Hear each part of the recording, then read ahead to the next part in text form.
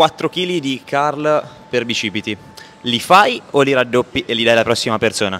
Li raddoppio e li do alla prossima persona. Se mi segui, passerai l'estate migliore della tua vita. Non si vedono benissimo, sono 8 kg di Carl per bicipiti. Li fai o li raddoppi e li dai alla prossima persona? Li raddoppi alla prossima persona. Mi fanno paura. Sì. 16 kg di Carl per bicipiti.